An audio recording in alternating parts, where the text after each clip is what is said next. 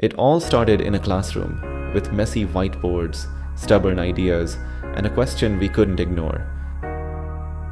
We pitched it for the first time, not for applause, but because we believed it mattered. Five teammates, five skill sets, one clear mission, build something that actually helps. Across India, people weren't just denied loans, they were denied a chance to be heard.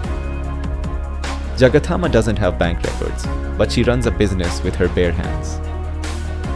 Raju grows food for a dozen families, but can't prove it to a credit system that doesn't see him. We saw hesitation in their eyes, not because they couldn't pay, but because they didn't know if they even could ask. We didn't need better documents, we needed a better definition of creditworthiness. So we changed the question what if credit scoring was designed with empathy? We didn't just build features, we built feelings into the system. Tejas didn't just build AI agents that processed data, he built ones that listened, adapted, and understood human story. Tharun's model wasn't looking for textbook credit scores. It learned from savings, crops, trust, and measured real human potential. Aditya designed not just an app, but a feeling. Every screen, every button made the user feel, you belong here.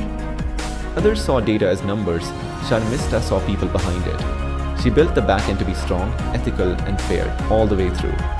Abhay didn't want the system to just approve or deny. He built it to suggest, guide, and uplift. Because empowerment begins with clarity. We're building a system that speaks your language so that more people can smile with understanding, not confusion. We dream to make loan applications empowering, not intimidating, especially for first timers. Soon, every town and village can unlock credit with a single tap. When someone gets approved with clarity and respect, that's not just a message, that's a moment of freedom. To every dream that's been delayed, every hope that's been overlooked, we see you. We built this for you. Thank you,